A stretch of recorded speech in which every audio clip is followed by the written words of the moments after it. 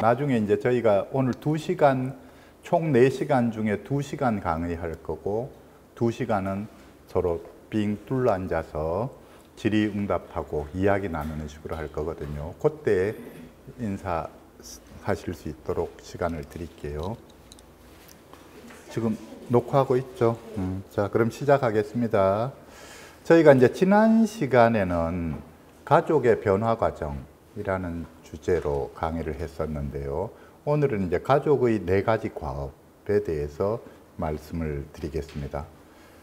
아, 가족의 네 가지 과업인데 크게 나누자면 가족 자신과 관련된 과업 그리고 당사자와 관련된 과업 이렇게 구분을 해봤는데 가족 자신하고 관련된 과업으로 제가 뽑아본 게 가족 자신의 삶을 돌보기 그리고 희망을 간직하기 이 두 가지를 뽑아봤고요. 당사자와 관련된 과업으로는 가족 환자 관계 개선 그리고 수용과 지원 이렇게 이제 뽑아봤습니다.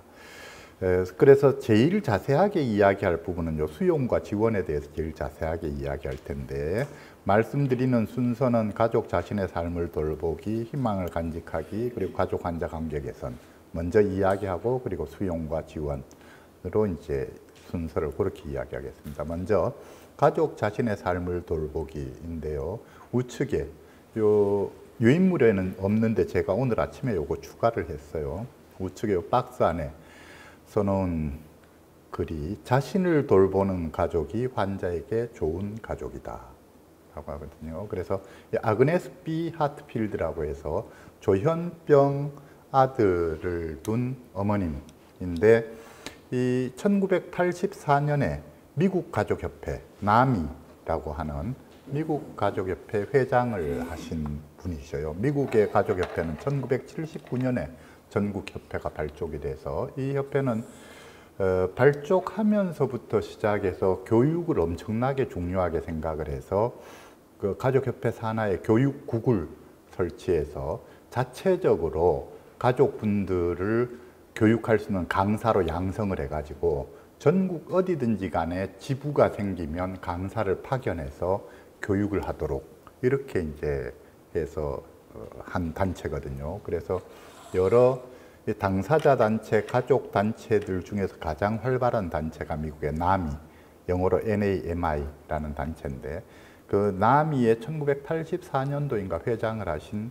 여성분 어머님이셔요. 조현병 아들을 둔 어머님 인데 이분은 이제 자기 자녀가 조현병에 걸려서 이제 그 자녀를 돌보는 과정에 심리학 대학원에 진학을 해서 심리학 박사까지 이제 취득을 하신 분이에요. 근데 이분이 제가 1993년부터 시작해서 제가 이 조현병 조울증 교육을 시작을 했는데 그때 1993년에 시작할 때 그 당시에 미국에서 나와 있는 좀 괜찮다는 가족 교육 교재, 조현병 조, 조울증 이 교육 교재를 한 여섯 권 정도 어, 그 번안을 해가지고 시작을 했었는데 그 여섯 권 번안할 때 그 중에 한 권이 이 아그네스 비 하트필드라는 분이 쓰셨던 책이에요. 이분이 이제 가족분인데 책을 쓰셨는데 가족 교육 교재를 쓰셨는데 이분의 교재에서의 특징이 뭐냐 하면은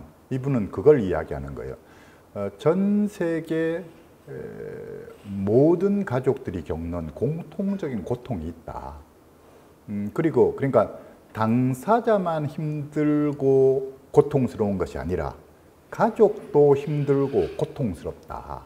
그런데 왜 전문가들은 가족들의 고통에 대해서는 무관심하냐?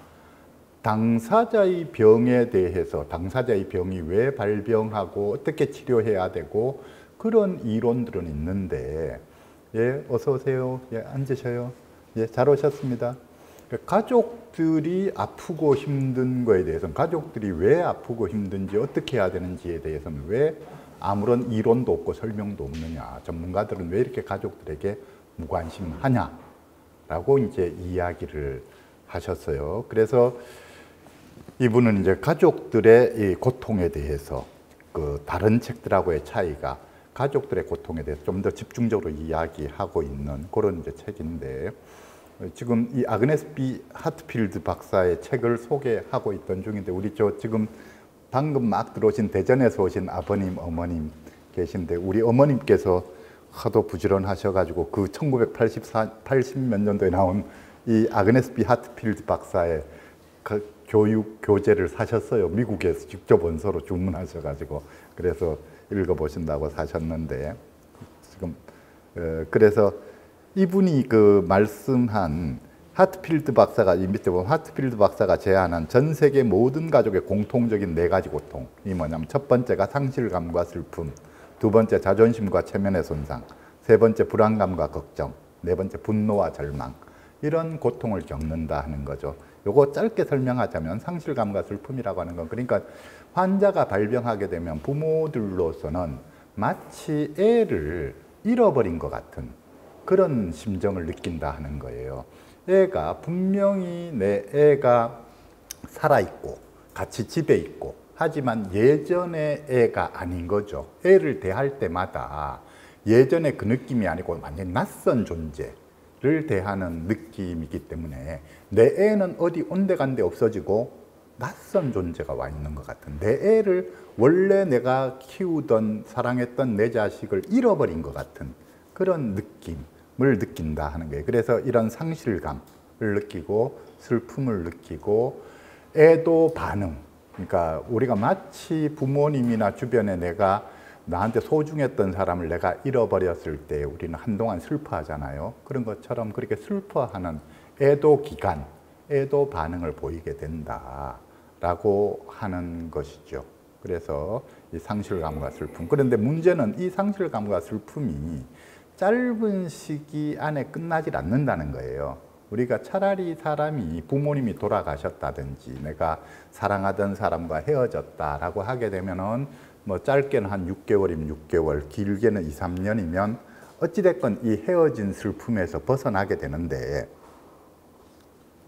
우리 조, 조현병 조울증 자녀를 돌보는 부모가 겪는 이 상실감과 슬픔 훨씬 더 오랜 기간 지속된다는 거예요. 왜냐하면은 당사자와 같이 더불어 살고 있고 또 당사자가 조금 좋아져서 옛날 모습 비슷하게 이렇게 돌아왔다가 그러면 또 기대가 되고 어, 하는 것이죠. 그런데 그러다가 또 다시 못해지는 모습을 보이고 이렇게 되니까 어, 좀 기대를 했다가 또 다시 가슴이 철렁 내려앉고 그러니까 또 다시 애도 작업 상실감을 경험하게 되고 또 좀 기대를 했다가 또 상실감을 경험하게 되고 이렇게 해서 반복해서 계속해서 상실감을 경험하게 된다. 그래서 오랜 세월 동안 이러한 감정 을 겪게 된다. 이제 그 이야기를 했고요. 두 번째로 자존심과 체면의 손상. 그러니까 우리가 자랑 중에서 제일 큰 자랑이 자식 자랑인데 지금 이 부모님 나이에 모임에 가든 어딜 가든 전부 다 자식 자랑을 하는데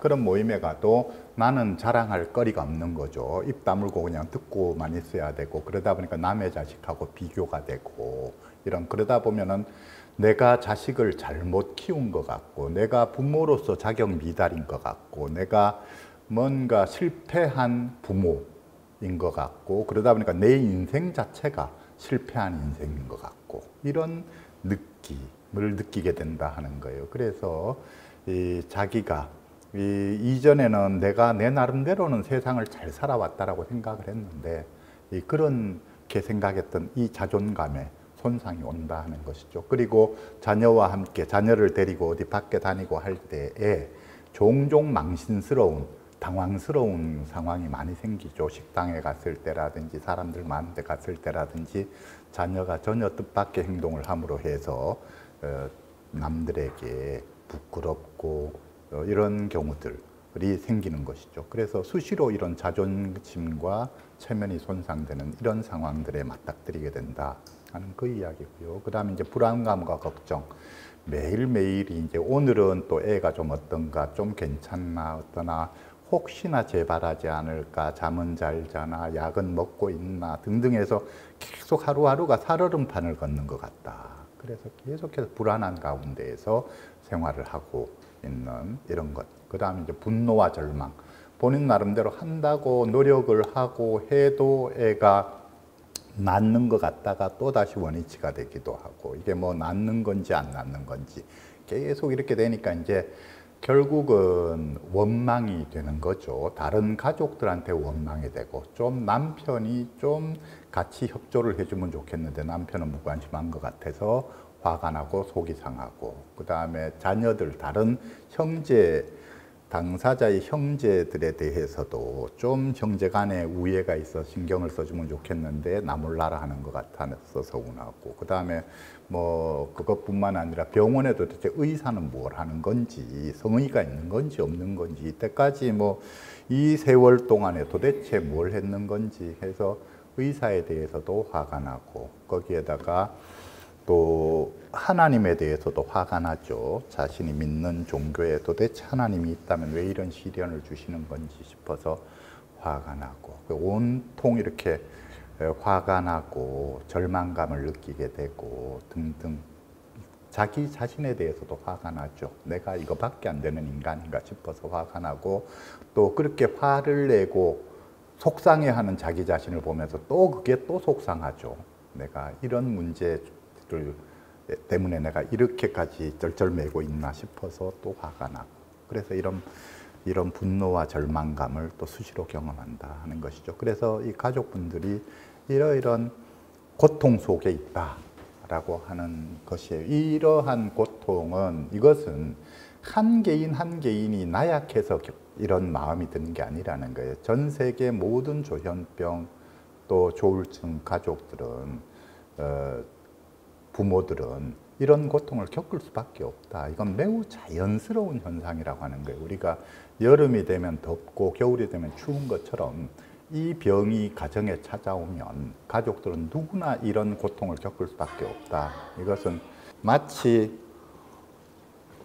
칼에 베이면 피가 나고 피가 그러면 딱지가 않고 그 딱지가 떨어져야 상처가 아물듯이 이거는 그렇게 그런 것이라고 하는 것이에요. 그래서 자기 자신이 이렇게 힘들어 한다는 것 때문에 속상해하지 마십사.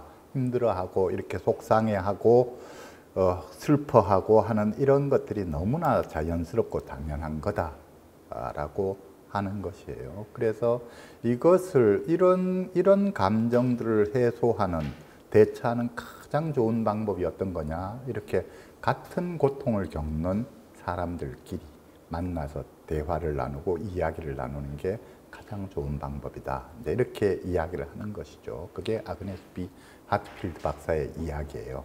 그래서 제가 이제 가족 자신의 삶을 돌보기라고 하는 주제를 꺼내놓고 이 아그네스 비 하트필드 박사의 이야기를 하는 이유가 자신을 돌보는 가족이 환자에게 좋은 가족이다. 이분이 그런 말씀을 하셨기 때문에 그 말씀을 소개하느라고 이 말씀을 드린 거예요. 늦게 오신 분들을 위해서 오늘 우리가 하는 내용이 뭐냐면 오늘 공부할 내용은 가족의 과업 네 가지.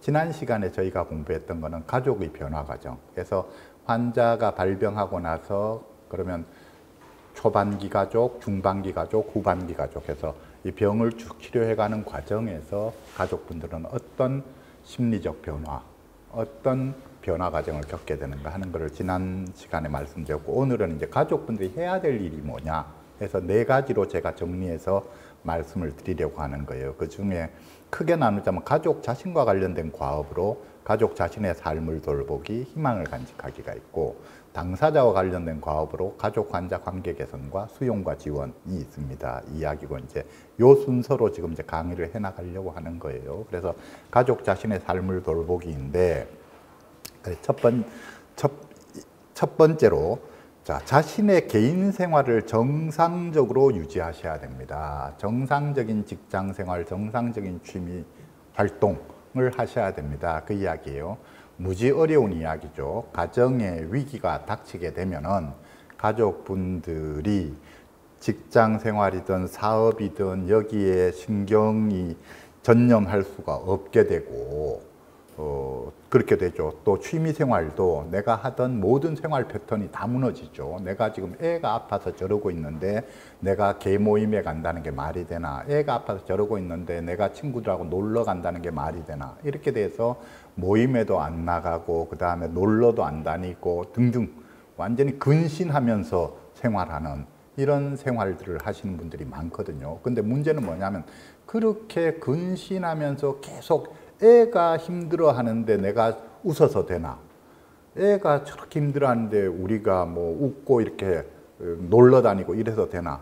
이러시는 분들이 있는데 그렇게 되게 되면 애가 힘들어 한다고 해서 나도 같이 긴장해서 생활하고 이렇게 하다 보면 이게 오래 가지를 못한다는 거예요. 1년, 2년, 3년 가면 결국 가족들이 지쳐서 나가 떨어지게 된다는 거예요. 그렇기 때문에 애가 힘들어 하든 어쨌든 간에 내가 나는 내 자신의 어떤 여러 가지 심리 이 생활을 유지를 해야지만 내가 오랜 장기간 동안에 애를 돌볼 수 있다 하는 것이죠. 우리가 이제 이, 이 문제는 마라톤이라고 하는 거예요. 우리가 처음에 발병을 하게 되면 상당수 부모들이 내가 할 수 있는 모든 노력을 다해서 애를 최대한 빨리 완치를 시킬 거다 라고 마음을 먹는 부모들이 있어요. 그래서 내가 올인하면은 그만큼 빨리 애가 병이 나을 거다 이렇게 생각을 하시거든요. 그래서 심지어는 직장 생활을 직장을 그만두시는 분들도 많아요.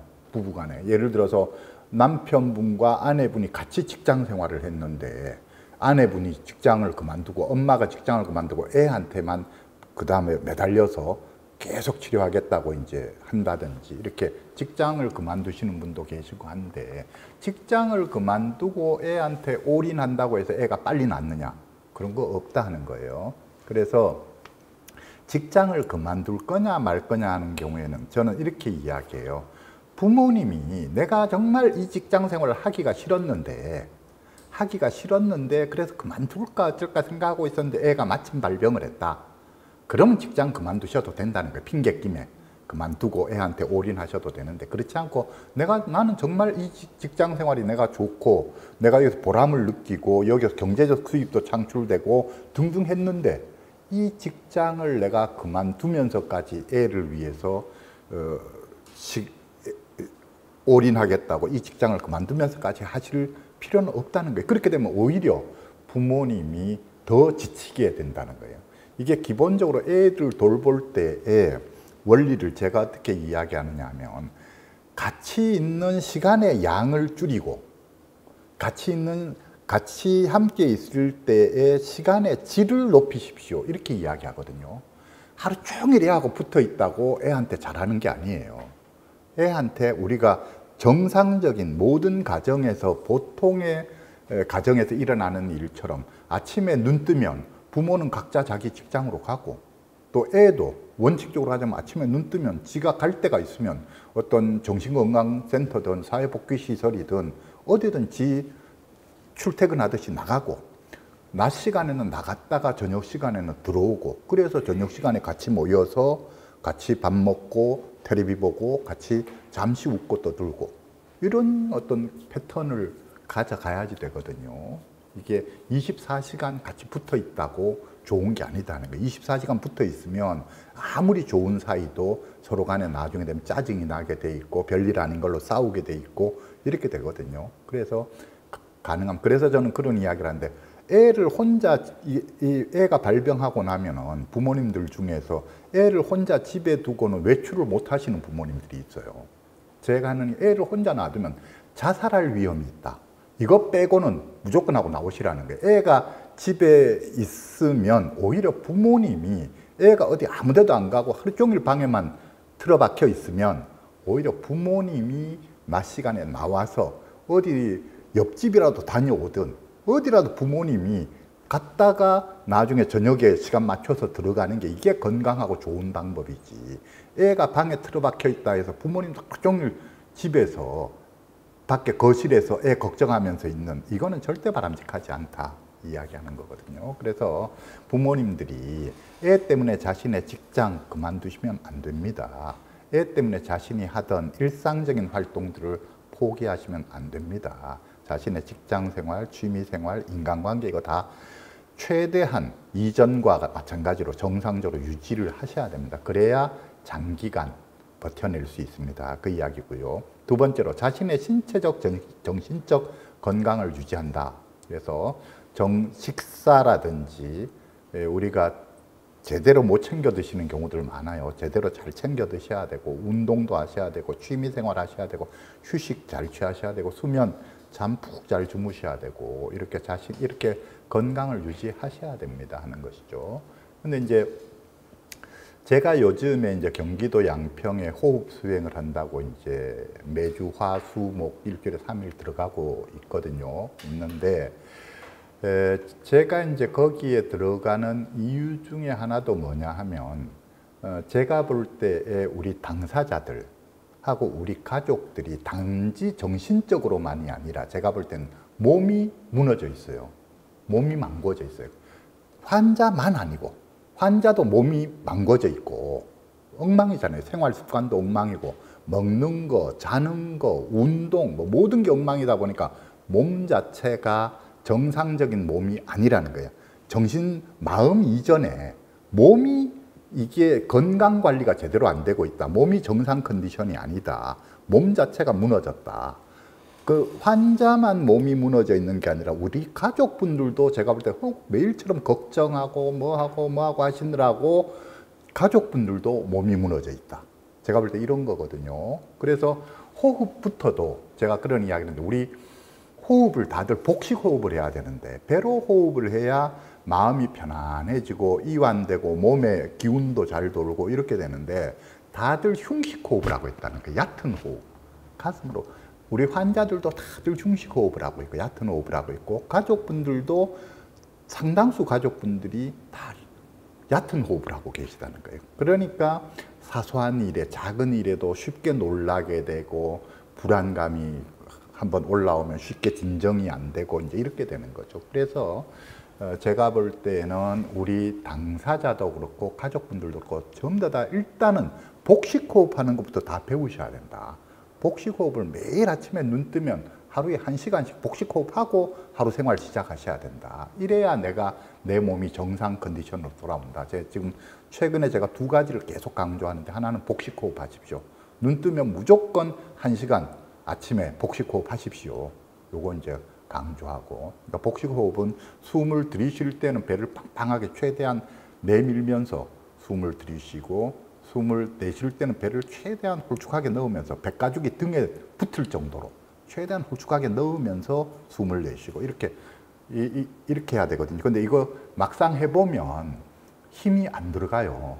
이게 힘을 안 주고 복식호흡을 안 하고 산 세월이 오래돼서 복식호흡 하려 그러면 배에 힘을 못 줘요. 빵빵하게 내밀어야 되는데 안 내밀어지고 홀쭉하게 들이밀어야 되는데 들어가질 않고 그래서 이걸 매일 아침마다 일어나서 한 시간씩 복식 호흡 연습을 계속 하다 보면 나중에 되면 이제 자연스럽게 늘어 나오고 들어가고가 되거든요. 그러면 하루 생활하는 가운데 나도 모르게 이게 이제 되는 거예요. 그때부터는. 그래서 저희 하는 이야기 아침에 일어나면 무조건 한 시간 복식 호흡 하십시오. 그 다음에 밥 먹고 나면 무조건 한 시간 산책하십시오. 복식 호흡 하십시오. 산책하십시오. 이거 강조하거든요. 이거는 우리 당사자들 당연히 그렇게 해야 되고 우리 가족분들도 하실 수만 있다면 그렇게 해야 됩니다. 이야기예요. 그래서 우리 당사자만 신체적으로 정신적으로 지금 무너져 있는 게 아니라 당사자가 이렇게 병이 발병하게 되면 우리 가족분들도 상당수가 당사자 걱정하고 그 메인을 하고 어, 생활을 하다 보면 결국 자신도 모르는 사이에 신체적으로 무너지고 정신적으로 무너지고 이 상태에서 생활하고 계실 수 있습니다. 신체적으로 피폐해지고 정신적으로 피폐해지고 피폐해진 가운데에 몇 년씩 생활하다 보면은 저절로 신체 건강이든 정신 건강이든 나빠질 수밖에 없는 거죠. 그래서 이 점 신경 쓰셔야 합니다. 그 이야기고요. 그 다음에 세 번째로 자신의 무력함을 인정하고 받아들여야 합니다. 자신의 한계를 인정해야 합니다. 하는 것이죠. 무슨 이야기냐 하면 이 처음에 누구나 다 자녀가 소중하기 때문에 자녀가 발병하면 내가 어떻게 해서든지 얘 병을 낫게 하겠다 라고 마음을 먹으셔요. 그래서 좋다는 병원에 다 데려가려고 하고 좋다는 약 먹이려고 하고 좋다는 걸 뭐든지 다 해주려고 하고 이렇게 이제 애를 쓰시는데 자 하나는 자녀가 잘 부모의 말을 잘 따라줘서 병원에 가자 하면 병원에 가고 약 먹자 하면 약 먹고 뭐 또 맛있는 거 사주고 하면 또 잘 먹고 또 건강식품이라도 사서 먹이면 그것도 잘 먹어주고 이렇게 하면 그래도 수월한데 이게 부모의 뜻을 전혀 안 따라주는 자녀들이 많거든요. 그러니까 병원에 가자면 내가 왜 병원에 가야 되느냐, 상담받자면 내가 왜 상담받아야 되느냐, 내가 왜 약을 먹어야 되느냐, 이렇게 되고, 그 다음에 부모가 그런 말을 좀 더 그거를 강요하고 설득하려고 하게 되면은 방문 걸어 잠그고, 이제 부모하고 대화도 안 하고, 하루 종일 부모 얼굴은 부모하고 말 한마디 안 하고 대화도 안 하고, 한밤중에 모두 다 잠들면 그때 몰래 나와서 냉장고 뒤져서 찾아 먹고 이런 애들이 허다하게 많거든요. 자, 그러면 이제 부모가 애가 이렇게 부모의 뜻을 전혀 안 따라주면 부모로서는 어떻게 할 방법이 없죠. 이런 상황들. 그 다음에 애가 부모의 말을 잘 따라줘서 병원에도 잘 가고 약도 잘 먹고 하는데 그러면 또 병이 금방 나을 것 같지만 그렇게 하는 걸 다 좋다는 거 다 하는데도 애가 병이 제대로 안 낫는 경우도 또 허다하단 말이에요. 예를 들어 망상, 환청 이런 거 약만 먹으면 탁탁 떨어져 주면 좋은데 제가 그런 이야기 하지만 환청은 약 먹으면 한 70에서 80%가 떨어져 주는데 약, 약만 가지고 안 떨어져 안 떨어지는 환청이 한 20에서 30% 되는 것 같고 7, 80%는 약만 먹어도 잘 떨어지는데 망상 같은 경우에는 약만 먹고 떨어지는 환청은 2, 30%밖에 안 돼요. 자, 망상은 약만 먹고 떨어지는 건 제가 볼 때 20, 30%밖에 안 돼. 그것도 한 어느 정도 먹어야 떨어지느냐? 한 3년 먹어야 떨어져요.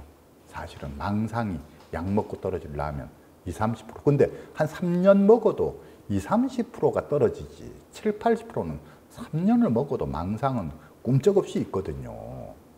그런데 이 애들이 어, 망상이 있어도 나중에 되면 부모나 부모한테 자기 입을 탁 다물고 표현을 전혀 안 하거든요. 그러면 부모는 아, 아, 애가 망상이 있는지를 몰라요. 이제 망상 다 없어졌는지 알아요. 천만의 말씀이에요. 애들이 망상 그대로 있으면서도 자기한테 부모라, 부모라든지 치료진한테 말해봐야 자기 말을 믿어주지 않는다는 걸 아니까 그 다음부터 입만 탁 다물고 있는 거예요. 그래서 그런 경우들이 많거든요. 그래서 환청, 망상 이런 게 쉽게 떨어지지 않는다라고 할 때, 그 다음에 또 애들이 생활 습관이 무너져 가지고 낮밤이 바뀌고 종일 방에만 틀어박혀 있고 밖을 안 나가려고 사람들 만나는 걸 무서워하고 등등 이렇게 지내는데 그게 전혀 개선이 안 된다. 내 나름대로 어떻게 해보려고 애를 여기 데리고 다니고 저기 데리고 다니고 하면서 애를 설득해보고 어떻게 해보고 해도 조금 들려다가 또 후퇴하고 들려다 후퇴하고 결국은 아무도 되는 게 없고 또 나아가서 애들이 조금 더 기능이 좋아서 애들이 자기 혼자 시험 공부해서 시험에 공무원 시험에 붙었다 뭐 또는 직장에 취직했다 이래서 이제 직장 잘 다니고 이제는 뭐가 좀 될라나 보다 싶은데 또 직장 다니다가 말고 얼마 다니다가 힘들다고 못 다니겠다 하고 결국 이래저래 해서 사표 내고 나온다든지 아니면 또 스트레스 받아서 재발한다든지 뭐 이렇게 돼서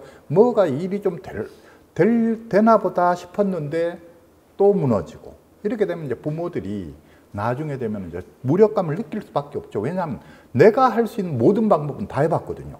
내 딴아는 내가 아는 모든 방법으로 다 해봤는데 이게 이렇거든요. 이 이게 내가 기존에 알고 있는 나의 상식, 지식, 또 내가 할 수, 이렇게 하면 되겠다 하는 거를 해봐서 해봐서 효과가 나면 해봤더니 애가 방에 틀어박혀 있던 애가 밖에 나오고 친구도 잘 사귀고 이제 직장에 취직도 하고 쭉쭉쭉쭉 뭐 자리 나간다 정상도 가라앉아서 별 문제 없이 부모하고 갈등도 없어지고 다 내가 노력을 했더니 이게 다 모든 문제가 다 줄어들고 원만하게 잘 된다 하면 부모 입장에서 얼마나 수월하겠어요. 그 다음에 노력할 필요도 없고 그렇게 되면 부모는 물론 그런 부모들도 있겠죠. 물론 그런 애들도 아주 수월하게 정말 발병했는데 병원에 데리고 가서 약만 먹였더니 뭐 딴 거 별 아무것도 안 해도 약만 먹고 그냥 별일 없는 듯이 자기 하던 공부하고 뭐하고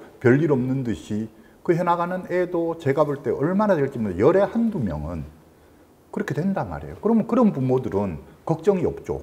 애 병원에 데리고 약만 먹이면 되니까 부모 자신이 달리 노력할 필요도 없고 그런데 그게 안 되면 약만 먹고 개선이 안 되면 그 다음에 부모가 도대체 어떻게 해야 될까 또 방법을 알아봐서 뭔가 노력을 해야 되잖아요. 그래서 뭔가 노력을 했다. 부모가 뭐 예를 들어 정신건강복지센터에 데려간다, 사회복지시설에 데려간다, 아니면 상담을 받게 한다, 뭘 한다 했더니 이제 다른 뭐 조금의 추가적인 노력을 하니까 애가 좀 괜찮아지고 크게 문제를 안 일으키더라. 그럼 또 부모는 괜찮은 거죠. 근데 이렇게 해서 괜찮아지는 애들 다 빼봐야 얼마나 되겠느냐.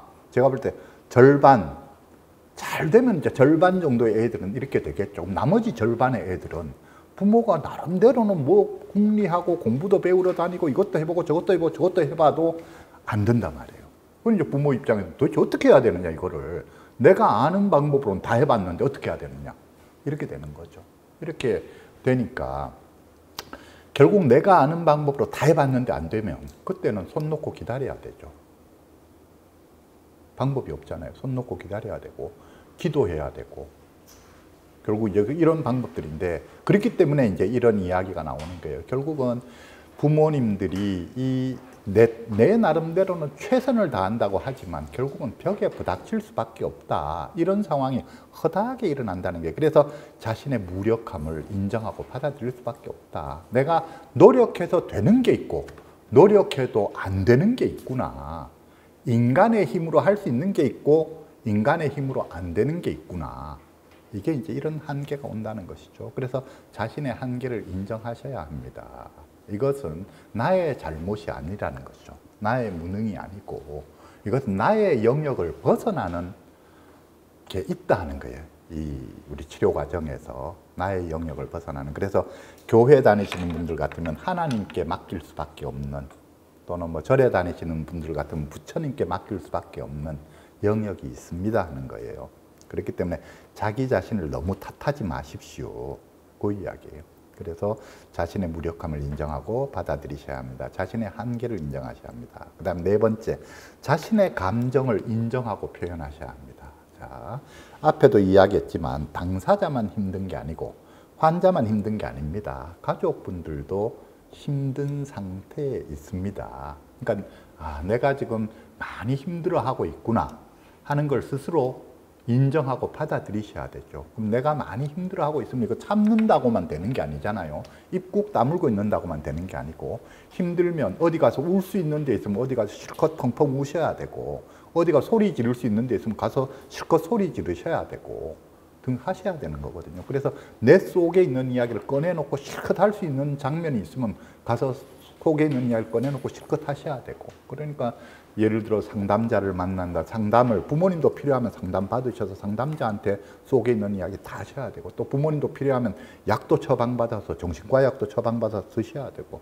아니면 이런 가족 모임 같은 데 와서 서로 그냥 다른 가족들한테 내 사정 그냥 실컷 이야기 하셔야지 되고 뭐 또 친구분들이나 주변 분들 중에 누가 내 이야기 잘 들어주는 사람이 있으면 그 사람들한테 내 이야기 실컷 하셔야 되고 뭐 어떤 식으로든 자신의 이 감정을 우리가 이 감정이라고 하는 거는 힘든 감정이라고 하는 거는 밖으로 무조건 꺼내서 표현을 해야 돼요. 그럴 때 이게 해소가 되는 것이고 해결이 되는 것이지 힘든 감정은 입 꾹 다물고 표현을 안 하면 이게 없어지는 게 아니라 안에서 그때부터 골마 들어가기 시작해요. 그래서 제가 이 비유를 그렇게 하잖아요.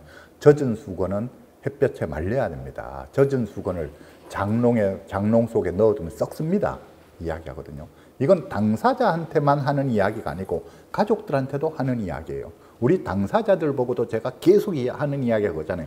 병 낫고 싶으면 말해라. 입을 열어야 된다. 침묵하고 있으면 병 안 낫는다. 비밀이 있으면 병 안 낫는다. 그러니까 비밀이 없어야 된다. 제가 당사자들한테 그런 이야기를 하거든요. 그러니까 자기 속에 있는 이야기를 적극적으로 꺼내서 표현해라.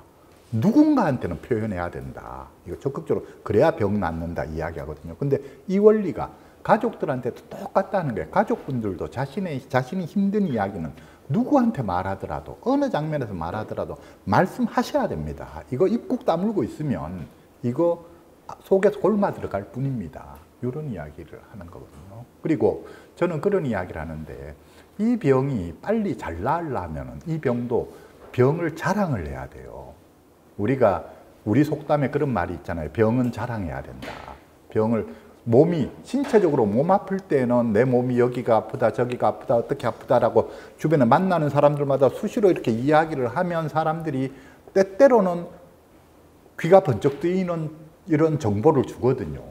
그것과 마찬가지라는 거예요. 정신적인으로 이렇게 조현병이다 조울증이다 이것도 내가 나를 공개할 수 있는 데에서는 이걸 공개를 하셔야 돼요. 그런데 이렇죠. 일반적으로 도움이 안 되는 경우도 많죠. 왜냐하면 조현병, 조울증에 대해서 아무것도 모르는 사람들, 그 편견만 가득하고 들어줄 수 있는 마음의 자세가 안 되어 있는 사람들한테는 이거 말해봐야 괜히 득되는 일이 아니죠. 해봐야 괜히 흉이 돼서 돌아오고 아니면 조언한다는 게 쓸데없는 조언이나 하고 전혀 도움 안 되는 조언이나 하고 이렇게 되면은 그런 장면에까지 가서 계속 이야기를 하라 소리는 아니고 나한테 도움을 줄 수 있는 사람들 그러니까 이 이야기를 이해하고 수용할 수 있는 사람들 앞에 가면은 이런 말을 하라는 거예요. 그러니까 의사나 상담자 앞에 가서는 다 이야기해야 되죠. 고주할 매주할 다 이야기해 의사나 상담자 앞에 가서는 그리고 이런 제일 이 이야기를 해도 허물이 없고 잘 들어줄 수 있는 사람이 같은 가족, 같은 당사자거든요. 같은 병을 앓고 있는 사람들, 같은 문제를 겪고 있는 사람들 앞에 가서는 이 말을 하는 게 전혀 부끄럽지 않단 말이에요. 그리고 이런 데 와서는 적극적으로 공개를 하는 게 각각의 가족들마다 자기들이 겪어온 노하우가 있고 또 자기들이 아는 정보가 있기 때문에 내가 모르는 이야기를 들려줄 수도 있거든요. 그러니까 이제 적극적으로 이야기를 하셔야 돼요. 그래서 병은 병을 자랑하셔야 돼요. 병을 그래 자기 속에 있는 이 힘든 이야기들을 꺼내놓고 이야기를 하셔야 된다는 거예요. 그래서 가족분들이 자기 자신을 잘 돌보는 방법이 자신의 감정을 인정하고 힘, 내가 힘들어하는구나 하고 인정하고 그것을 적극적으로 표현하셔야 됩니다 하는 것이고요. 그 다음에 다섯 번째로 가족들 간의 역할 분담을 하셔야 됩니다 하는 것인데 역할 분담이라고 하는 게 뭐냐면 이게 상당수 가정에서 이런 일이 많이 일어나요. 예를 들자면 어머님은 애를 병을 낫게 하려고 키를 기를 쓰고 애를 쓰는데 아버님은 나 몰라라 하고 무관심한 경우 이런 경우가 그래서 우리가 보통 이제 교육을 하거나 모임을 하거나 하더라도 보통은 보면은 같이 오시는 보호자분이 10분 중에 한 8분은 어머님이 오시죠. 아버님은 안 오시고. 그 다음에 10분 중에 한 분 내지 잘해야 한두 분이 아버님이 오셔요. 어머님은 안 오시고. 또 그런 가정도 있어요. 아버님은 애 병이 낫게 하려고 애를 쓰는데 어머님이 나몰라라 하는 가정도 때때로는 있어요. 그래, 그렇고. 그 다음에 이제 부부 간에 같이 오시는 분. 진짜 귀하죠. 열에 한 분 정도 정말 부부 간에 같이 이렇게 애를 쓰시고 이렇게 이제 되거든요. 근데 결국은 가장 바람직하고 좋기는 부부 간에 같이 애를 써야죠. 부부 간만이 아니라 환자의 형제 자매들이 있으면 형제 자매들까지 다 같이 관심을 가져줄 수 있으면 매우 좋죠. 그래서 이게 가족 중에서 한 분만 이, 이런 가정에서는 생각을 하시라는 거예요. 가족분 중에서 아버님도 나몰라라고 집에 형제 자매도 나몰라라고 다 나몰라라 하는데 어머님 혼자서 지금 애를 애를 쓰고 있다. 그럴 때는 이 어머님께서 전술 전략을 생각을 하셔야 된다는 거예요. 나 혼자 계속 당, 남편이 무관심해도 애들이 무관심해도 나 혼자서 내 자식 살리겠다 하고 계속 쫓아다니실 게 아니라 어떻게 하면 저 남편을 끌어들일까? 어떻게 하면 저 형제를 끌어들일까를 어머님께서 고민을 하셔야 된다는 거예요. 어머님께서. 그래서 전술 전략을 생각을 하셔야 돼요. 그래서 저, 저는 이제 에, 그런 이야기를 하는데 이게 가족 간의 역할 분담이 되게 하려고 하게 되면은 누구나 간에 이 문제가 생기면 힘들기 때문에 신경을 안 쓰고 싶어 해요.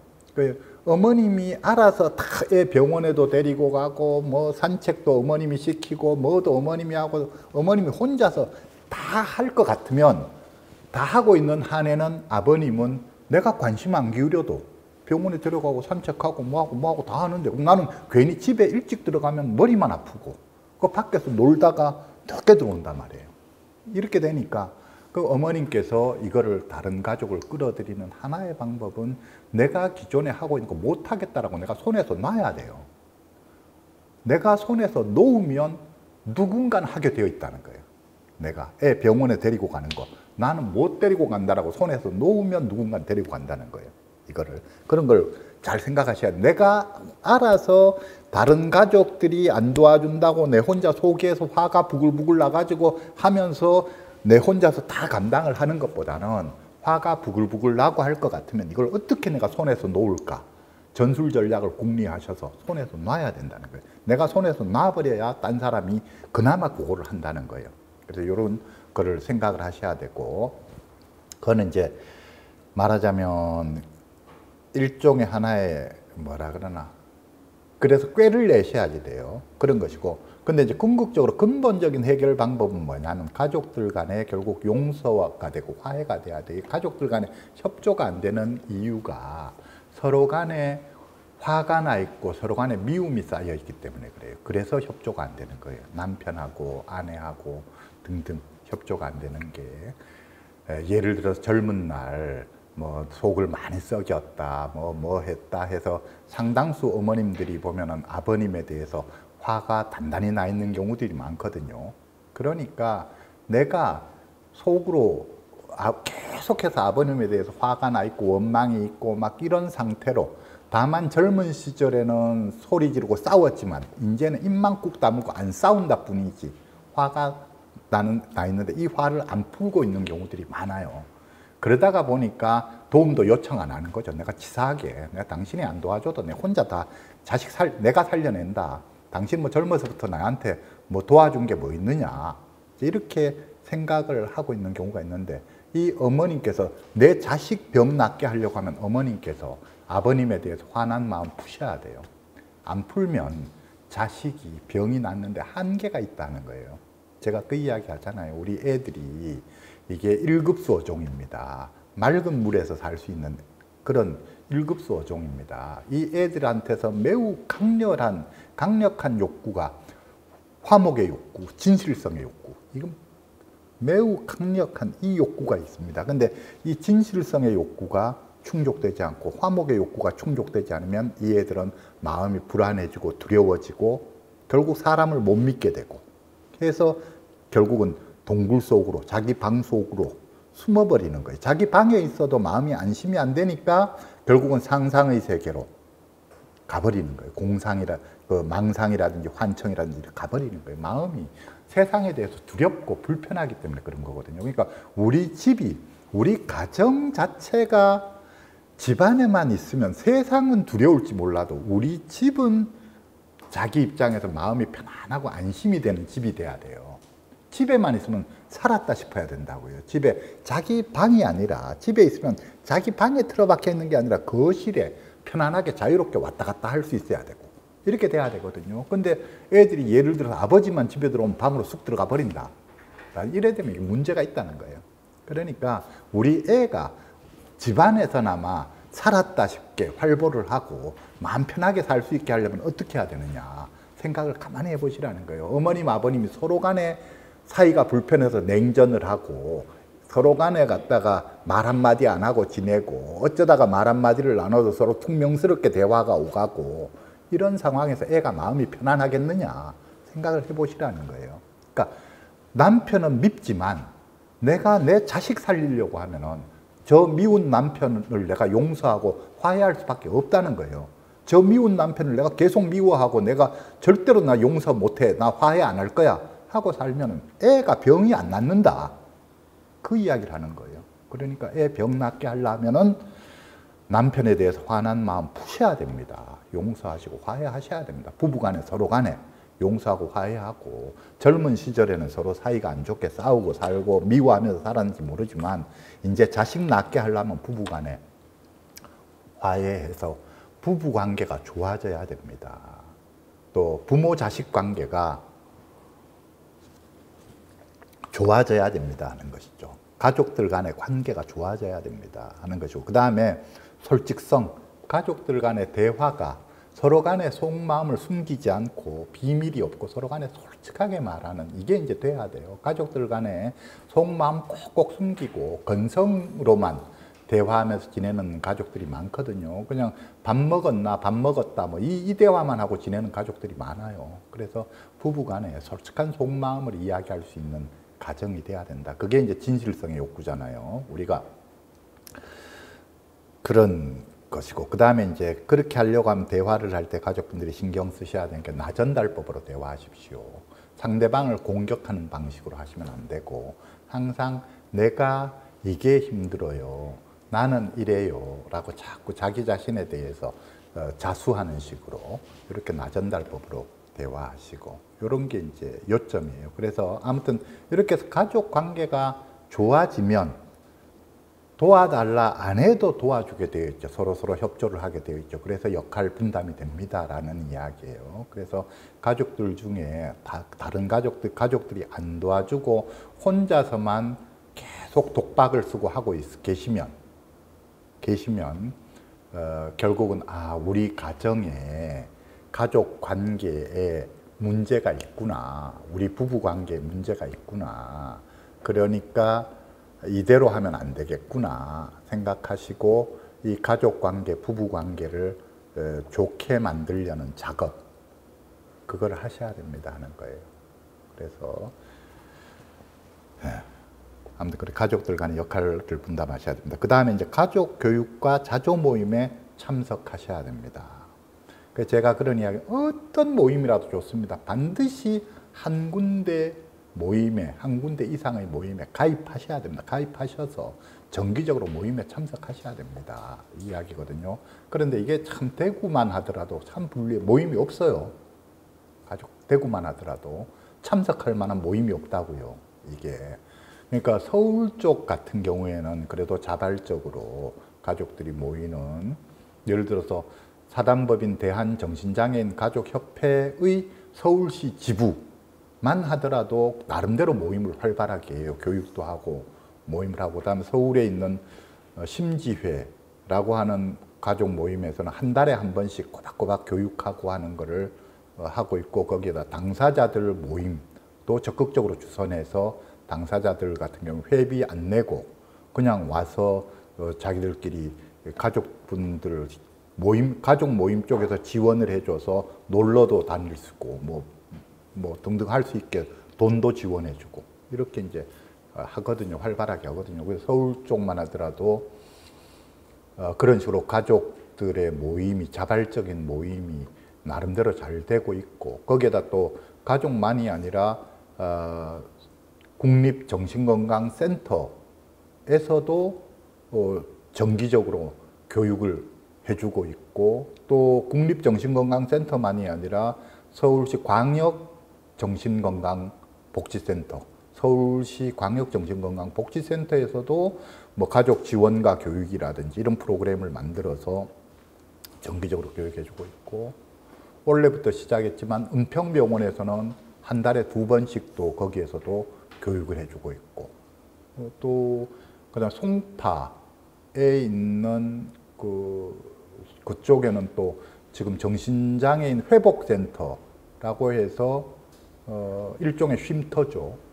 정신장애인 동료 지원가가 운영하도록 하는 하고 그런 회복센터 같은 것도 있고 뭐 같은 서울만 하더라도 그래도 좋은 모임들이나 뭐가 어, 꽤 있어요. 교육도 계속 여기저기에서 가족 교육, 당사자 교육이 계속 이루어지고 있고 그래서 서울만 해도 소속되고 가입되어서 활동할 수 있는 데가 많은데 어, 지방에는 정말 없어요. 지방에는 이게 서울하고 경기도권, 경기도권은 수원 같은 경우에는 수원 정신건강 가족학교라고 하는 데가 있고, 그 다음에 속초는 작은 도시지만 속초는 설악 어우러기라고 해서 거기는 홍수민님이라는 분이 본인이 열심히 해서 아마 매달 한 번씩 거기에 교육도 있고 모임을 하고 있어요. 그러니까 그렇게 적극적인 가족분이 있으면 작은 도시라도 그런 게 이제 이루어지는데 아무튼 서울과 경기권을 제외하고는 제가 알기로는 거의 다른 도시들은 너무 취약해요 모임이. 그래서 이제 이후에 이런 거죠. 어떤 모임이라도 어, 모임에 가입해서 나가셔야 됩니다. 이야기를 하는데 모임이 없으면 만드셔야죠. 내가 모임을 만드셔야죠. 그게 이제 속초에 홍수민 님이 속초에는 모임이 없으니까 홍수민 님이 내가 만든다 해서 본인이 만들어서 사람들을 어, 처, 지금은 회원이 몇인지 모르겠네요.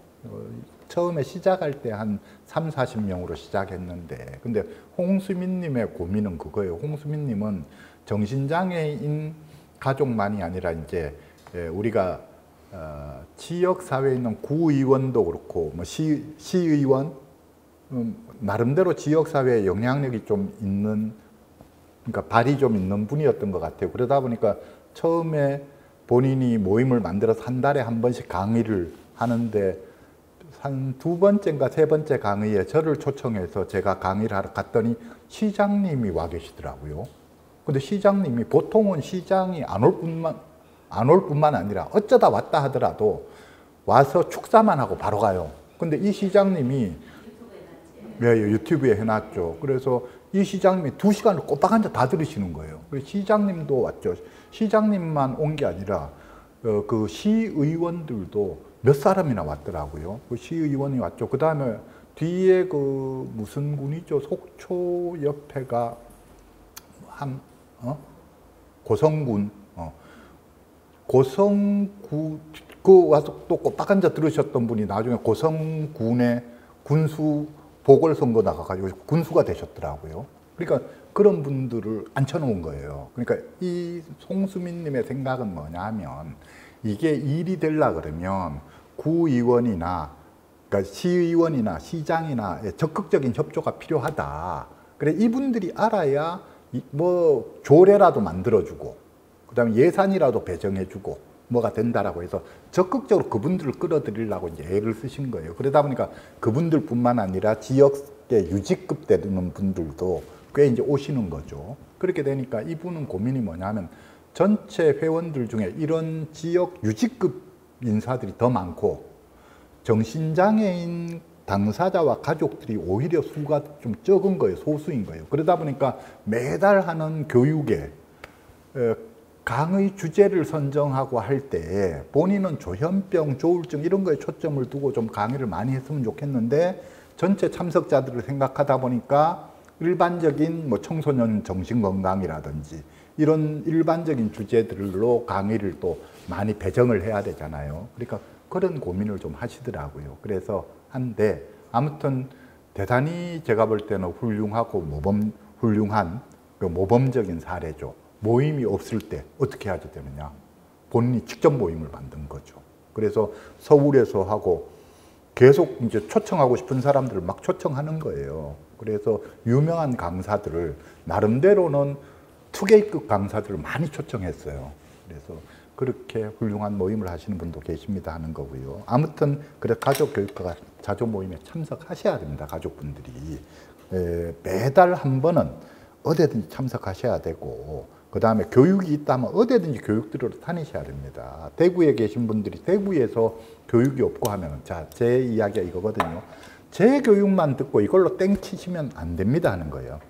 제 교육을 들으시고 제가 바라기로는 제 교육 들으신 분들은 제가 이제 매주 일요일 오후 4시에서 6시까지 하는 초급 심화 과정이라고 하는 그걸 하는데 거기에 등록하셔서 그거를 또 계속 따라서 매주 어, 줌으로 하는 그 모임에 들어오시기를 제가 바라는데 그 자체도 하나의 모임이에요.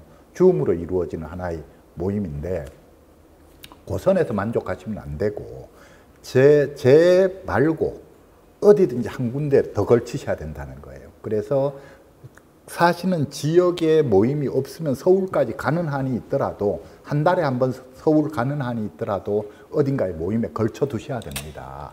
제가 하는 이야기는 그 이야기를 드리는 거죠. 그래서 자 아무튼 자 가족의 네 가지 과업에서 이제 첫 번째 과업이 가족 자신의 삶을 돌보기인데 가족 자신의 삶을 돌보기 에서 제가 설명드린 내용이 첫 번째, 자신의 개인 생활을 정상적으로 유지하셔야 됩니다. 두 번째, 자신의 신체적, 정신적 건강을 유지하셔야 합니다. 세 번째, 자신의 무력함을 인정하고 받아들이셔야 합니다. 자신의 한계를 인정하셔야 합니다. 네 번째, 자신의 감정을 인정하고 표현하셔야 합니다.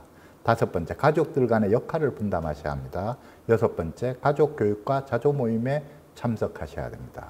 이런 말씀을 드렸습니다. 그리고 아그네스 비 하트필드 박사가 이야기한 자신을 돌보는 가족이 환자에게 좋은 가족이다. 이 말을 명심하십시오. 이렇게 이제 말씀을 드렸습니다. 자, 10분간 쉬었다가 그 다음에 이제 희망을 간직하게 대해서 말씀을 드릴게요. 10분간 쉬겠습니다.